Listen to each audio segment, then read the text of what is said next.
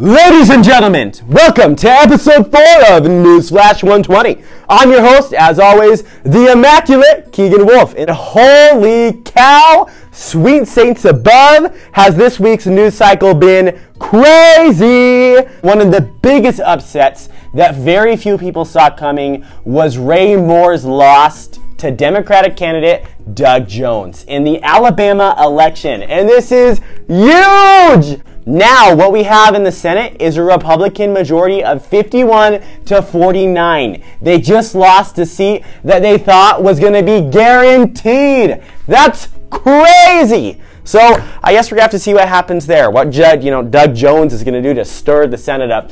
I'm thinking it might go to a Democrat majority come the midterms, but I don't know. We'll have to see what happens there. Additionally, in the news cycle this week, if you've heard anything about the Republicans tax reform bill, that is so happening.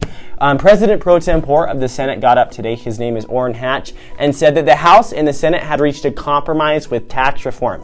What that means is that, in the words of Mr. Donald Trump, America might have a huge Christmas present be coming with, you know, like the nice fat bow on top. It'd be like red, like the star, because it's like a Republican one. So Woo! Anyway, we might have a huge Christmas present coming because the House and the Senate have almost passed tax reform. And according to the President pro tempore, it's so gonna happen. So that's gonna be something really, really interesting to keep in the, you know, on like the back burner as we go into the next few weeks to see if they actually manage to pass that before January, yes or no. And if it's gonna pass, they're gonna have to do it with the Republican majority or it's not gonna happen. Now that we've covered the craziness of American politics, I looked at the seven day forecast.